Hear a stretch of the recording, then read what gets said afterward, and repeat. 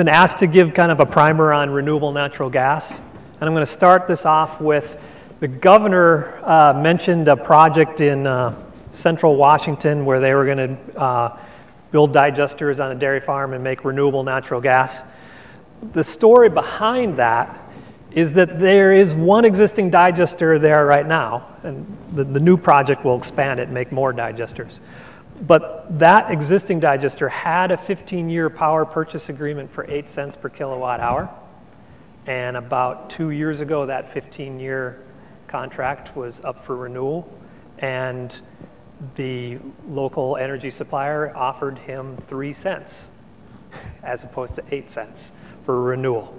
3 cents doesn't even allow you to uh, cover your operating expenses, let alone try to pay off debt. Um, so this story is sadly taking place across the entire United States. I have uh, industry partners that have told me similar stories in Michigan, Wisconsin, New York, um, all across the country, that we're just not going to get digesters built to make electricity as long as the states no longer have pressure to meet their renewable electrical portfolios and are only going to offer three, four cents per kilowatt hour. So your other choice, besides shutting them down and not building digesters, is to try to scrub the gas and make it a renewable natural fuel, either to put in the pipeline or put into uh, a fueling station.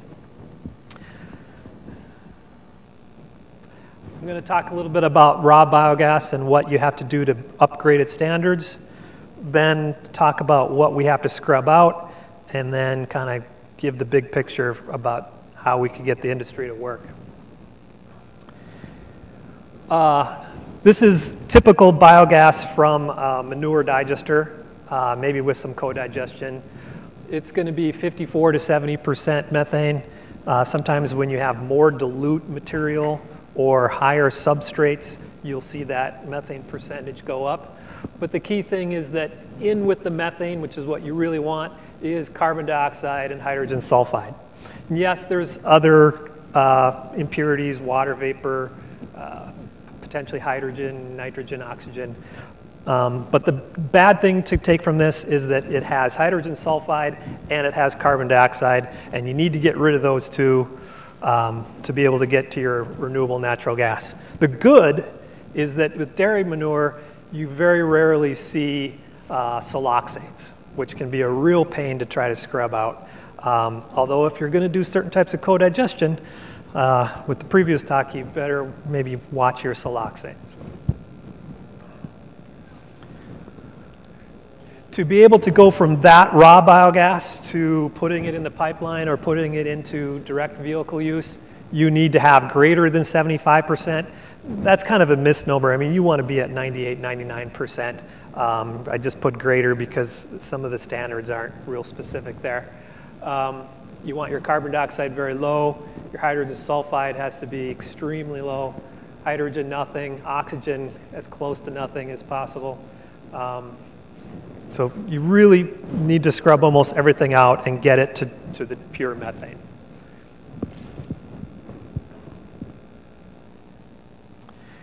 While there's lots of things that are possibly in the gas, I'm just going to talk real quickly about three. Water vapor, uh, like 8 to 10% of the raw biogas is water vapor, depending on the te temperature you're operating at. But fortunately, water vapor is pretty easy to get rid of. Uh, there's a variety of ways, but 99% of the industry just uses a chiller. Uh, you just take the raw biogas coming out of that hot digester, put it through a chiller to be able to bring the temperature down. When the temperature comes down, the water vapor condenses into a liquid and it just drips out. So pretty easy to get rid of water. Next one we need to remove is hydrogen sulfide. You want to remove hydrogen sulfide even if you're not going to make renewable natural gas.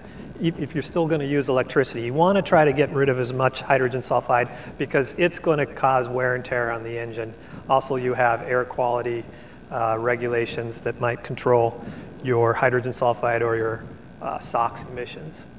So we have many different ways to be able to remove hydrogen sulfide, and I'm going to talk about them in the next slides.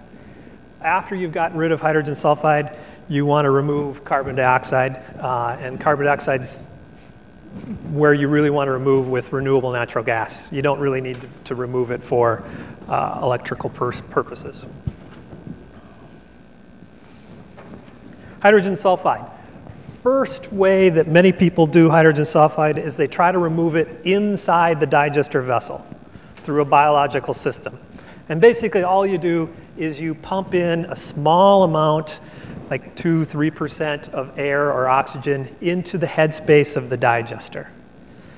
By giving a little bit of that oxygen into the headspace, you're still maintaining a relatively anaerobic environment, which you need to be able to do the digestion, but you're giving just enough oxygen to grow aerobic bacteria that can convert hydrogen sulfide to elemental sulfur at the liquid uh, gas interface.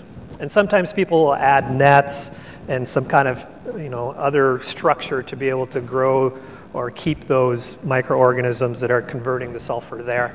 Um, but eventually the sulfur just works its way into elemental sulfur, grows on the sides of the wall of the digester, eventually goes into the liquid and goes into the lagoon. I've actually gone into some digesters that have been opened up because of some clean out or decommissioning, and you can see stalactites of uh, sulfur that have formed because of this biological operation inside the digester. It does a pretty good job of reducing it, um, but not completely. Um, so it's not the best technique for getting to uh, renewable natural gas. It just helps with the engines. You can do the exact same thing outside of the vessel. You're just going to do it more efficiently. You can do a physiochemical way. Uh, you've probably heard of iron scrubs, iron sponges, activated carbon. These are just uh, physical or chemical media that can latch onto the hydrogen sulfide and clean the biogas. And water scrubber is one way, but water scrubber also cleans out the uh, carbon dioxide, which I'll talk about here. There's many different ways to remove the carbon dioxide. I'm just going to talk about the three most common. First one is a water scrubber. Uh, that's an example of one at the Fair Oaks Dairy in Indiana. Uh, water scrubber works by the principle that if you increase the temperature and pressure, you can take advantage of the solubility of hydrogen sulfide and carbon dioxide going into solution while methane doesn't. So since the methane doesn't go into solution, it just goes straight to where you want it. Your impurities are in the water. You can do a regenerative step to lower the temperature and pressure, and then it leaves the water, and you just keep recycling that water. Problems are capital costs, operating costs, high electricity, cost money. Second way is a pressure swing absorption. Does this same method of trying to take the impurities and put it one place, methane the other place, uh, has a regenerative step, but previously with water it was using solubilities pressure swing uses affinities to different chemicals. Third one is membranes. Same principle again. Shove impurities one direction, methane the other. Doesn't work on solubilities, doesn't work on affinity, works on ability to go through a membrane or not. But they have problems with fouling and uh, contamination leading to problems. Right now, the most common one is water scrubbers on dairies. But here's the main part I wanted to talk about. If we are going to transition from farm-based digesters being electrical to renewable natural gas, we need to answer these questions. One, will the historic decoupling of diesel and natural gas continue? Some people will say yes, some people will say no. If yes, RNG can ride the CNG wave. Number two, will CNG continue to expand, allowing for much more needed development and fueling? So if the CNG wave is, gonna, is going to occur, and we can ride that wave. One of the things that we're riding on that wave is that you've got all the fueling stations across the country, you got all the uh, trucks that are being converted to CNG trucks the biogas industry doesn't have to deal with that. The CNG industry is getting all that stuff done. We're just going to ride that. Three, Can RNG compete with CNG? So the first two are saying, let's ride the CNG wave. The third one's saying, well, if you're going to ride the CNG wave, you better be able to compete against CNG. Well, the way you compete against CNG is the federal government. Is the federal government going to give you renewable fuel standards, RINs, LCFAs, uh, uh, low carbon fuel standard uh, benefits to be able to compete? That's a question that's out there. Will the federal government keep to it? Will they stand by it for the extended period of time? Can the cost of biogas purification be brought down? Right now, biogas purification is about a dollar to two dollars per MMBTU. You know, if, if you're at two, say right now, if you could cut that in half to a dollar, that dollar that you cut is now a dollar of profit. So can we decrease the cost? Can we access pipe, gas pipelines? Previous presentation said there are blockages to entering the gas pipeline. Historically, electrical systems have had a problem because the power companies haven't wanted to play fair. We're just changing the people who don't want to play fair. We're going to the pipeline people who you're going to have to talk into playing fair. Um, eco credits. There's some states that are going to take the, the added benefit of not just watching the federal government, California, Oregon, Washington with the low carbon fuel standard. Imagine if you can stack those. Not only get a dollar dollar fifty for RINs, but get another 50 cents for LCFA. So states are going to play a role here. Um, to maximize RNG production, you're going to want to do co-digestion. But if you're going to want to do co-digestion, then you're going to have to deal with the problems of co-digestion. Those are the questions that you're going to want answered to see if we can develop as a nation an RNG industry. Those two references are great references if you want some further reading material because I just took, you know, a synopsis for you guys. Uh, they go into much more detail about the technologies. And thank you for your time. I'll leave it on there if you're ready.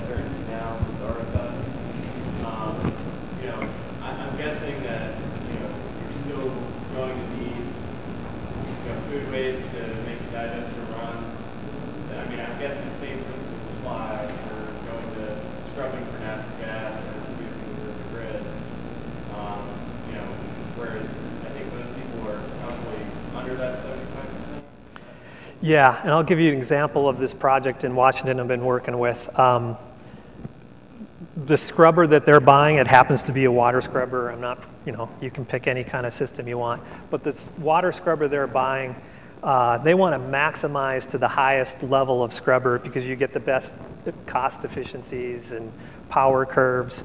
And that's a, that largest one is 1,800 uh, standard cubic feet per minute scale. Um, so they're immediately figuring out, okay, where are my manures? Where are my co-digestion substrates that get me to 1800? and do those two meet the RF, RFS rules? And yeah, they're at, um, this, right now they're at like 17% below that, that threshold. But just gives you an idea that these project developers are thinking exactly like that. They start way up here, how can I make the most amount of money? make the most amount of RNG? How can I make the most amount of RNG the most efficiently? Use the most efficient scrubber. Well, what scale is that scrubber at? Okay, if that's the scale, how many cows do I need? Is that enough? No, it's not enough. So how much substrate do I need? do the substrate fit with the rules? Okay, now I got those. Can I then make it work? that, that's your project development. I know that, I mean, when we looked at this, you uh, know, the power company, gas companies, you know, as far as introducing this into their pipelines, it just it drives me crazy to talk about this. And I know that they were the project project in Idaho that was trying to get to this. I mean, is that dairy perspective, you didn't cancel out the natural gas prices for double the cost there. We have very few uh, RNG projects across the country. There's one in Colorado, there's one here in Washington we're trying to do, there's some in California going. The Indiana one does not go into the pipeline, it goes directly to a fueling station. Um, you're going to see some go directly to the fueling, fueling station because there's maybe superior economics there at play. And second, uh, you don't have to deal with the gas line. Um, but we're not going to be able to do across the country at the scale we want to do, be able to do all direct to fueling. We're going to have to work with the pipeline people. And my understanding is that sometimes you talk to the pipeline people, they don't even want to give you the time of day. Some will talk to you. It's just like the power companies. Um, I'll give you an example here in Washington. They wanted to charge over $1 million just to tap into the pipeline. $1 million cost to just tap in, let alone you need to develop the spurs to go from the dairy to the actual pipeline. Um, and in this project, the, the, they're doing the spurs because of REAP dollars, EQIP dollars, federal, state, private partnerships. That's going to have to happen. It, it's, what's just ironic is we're seeing the same thing when it was electrical. We talked about the companies and we talked about the exorbitant uh, interconnect fees.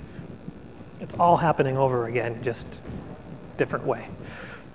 A big, uh, to add to that, a big issue again as we continue to think RNG development should be sort of a boutique private sector deal, and all of our conventional utilities we see as public infrastructure, and economics are totally different. And even with conventional electric generation, conventional natural gas, it's still in public infrastructure terms. So things like right-of-way acquisition, totally different. Anyway, I appreciate your comment. Okay. Uh, and just because you're in Washington State, I also might mention there are some interesting boutique things. You know, Washington State has a huge ferry system. You know, what better fuel to run your ferry systems off of? So each state is going to have some of their own unique things.